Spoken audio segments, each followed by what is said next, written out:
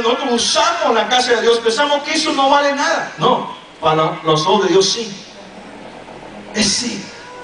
Vale mucho porque ha sido consagrado para Dios. ¿Qué más, amado hermano? ¿Qué más encontramos? Días. Alguien podrá decir, ¿por qué Dios santificó un día? Sí, Dios también separó un día. Dios santificó un día en el cual descansó después de haber creado los cielos y la tierra. Y de igual forma ordenó que todos nosotros apartemos un día para Él. Y eso, y ese día lo debemos de consagrar, dedicarlo para el Señor. Quiero decirle algo, después que hablé de cosas que han sido consagradas o apartadas para el Señor, Dios también, Dios también dedicó, santificó un día en el cual Él descansó. Ahora, ¿Dios se cansa? No, Dios no se cansa. Pero quiso darnos un ejemplo. Quiso darnos un, ejemplo para que nosotros también, así como Él apartó un día, nosotros podamos apartar un día para Él. ¿Dicen amén?